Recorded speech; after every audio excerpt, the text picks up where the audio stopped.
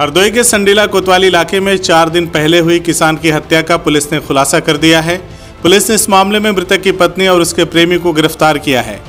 मृतक के चचेरे भाई से अवैध संबंध थे। अवैध संबंध में ही बाधक बनने पर किसान की खेत में सोते समय गला दबाकर हत्या कर दी गई थी। इस मामले में मृतक की पत्नी ने अपने प्रेमी को नामजद व अन्य अज्ञात के विरुद्ध हत्या का मुकदमा दर्ज कराया था।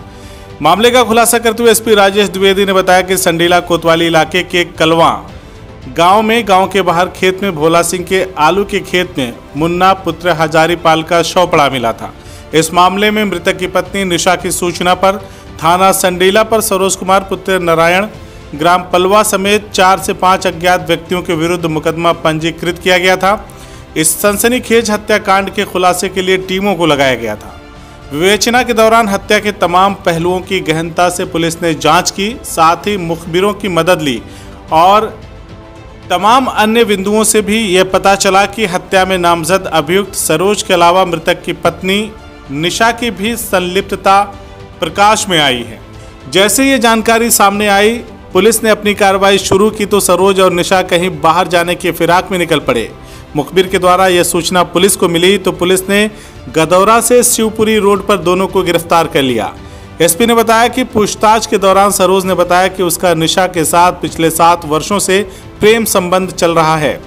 हत्या के मामले में नामजद सरोज की शादी भी दो वर्ष पूर्व हुई थी और निशा के कहने पर उसने अपनी पत्नी को छोड़ दिया था। ये दिनांक नौ बटे दस मार्च की रात को थाना संडीला में एक कृषक मुन्ना पाल की डेड बॉडी प्राप्त हुई थी, जिसमें इसका गला दबाकर हत्या किया ना पाया गया था। इस संबंध में मृतक की पत्नी निशा द्वारा अपने चचेरे देवर के संबंध में नामजद अभियोग पंजीकृत कराया गया एवं एक चश्मदीद साक्षी दर्शाया गया था। पुलिस द्वारा इसमें गहन पड़ताल करते हुए न सिर्फ़ अभियुक्त सरोज को पकड़ा गया, बल्कि राज का फाश करते हुए इसकी पत्नी निशा को भी घटना में संलिप्त पाते हुए गिरफ़्तार किया गया है। किस तरह से अभियुक्त सरोज द्वारा अपने अवैध संबंधों के चलते इसकी पत्नी से अवैध संबंधों के चलते मृतक को अपनी राह का रोड़ा पाते हुए गला दबाकर अपने हाथों से गला दबाकर हत्या की।